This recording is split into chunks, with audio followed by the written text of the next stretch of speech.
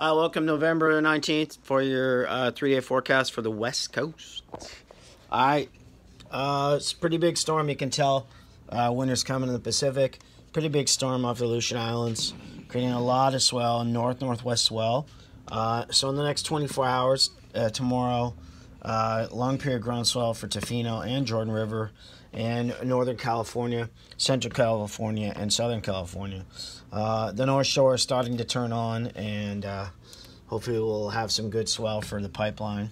Um, uh, but by Wednesday, there's a pretty big storm that's coming here, heading over a north northwest swell, bringing a lot of swell. It's a really big storm and really wide, coming all the way over, creating a lot of swell for Wednesday and even Thursday up until Friday. So a lot of swell on the west coast. It's kind of kind of winning the wars here, surf. And there's some uh, you know residual long period ground swell in Central America.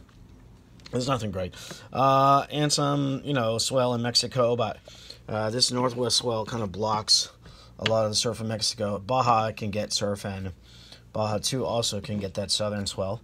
So check it out and uh, check out our pro tips and our uh, deals for Black Friday.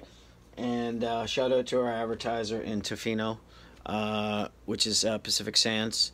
And uh, if you want to book a place to get stay, go stay there. Leave a comment, give us a five star review. Yeah, that's right. I need to shave.